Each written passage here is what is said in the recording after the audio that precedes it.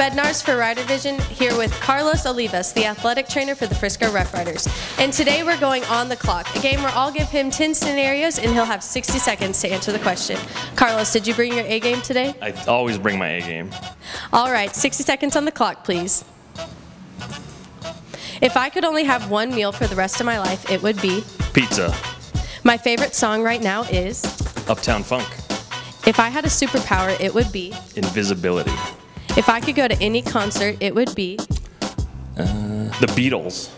Something I can't wait to cross off my bucket list is. Jump out of an airplane. My favorite baseball movie is. The Sandlot.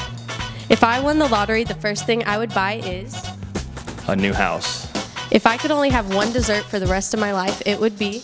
Oh man, the apple apple crumble crispy crumble from Joe's Crab Shack. If I were an animal, I would be. Uh, a fox. And if I could travel anywhere in the world, I, it would be. Australia. Congratulations, you beat the clock. For the Frisco Rough Riders, I'm Brooke Bednarz, and we just went on the clock with the athletic trainer.